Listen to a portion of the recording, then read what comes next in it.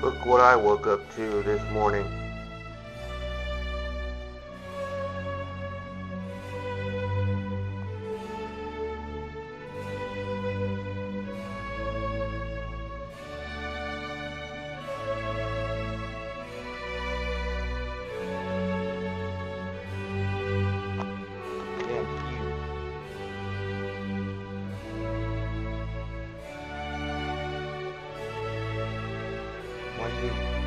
Try to eat toilet paper?